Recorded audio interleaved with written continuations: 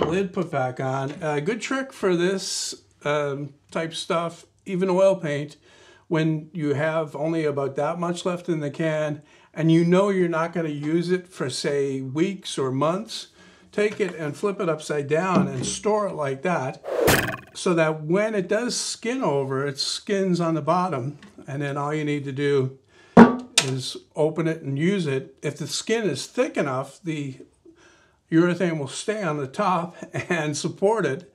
Otherwise, it'll just leak down and it makes getting the skin off the forms easier.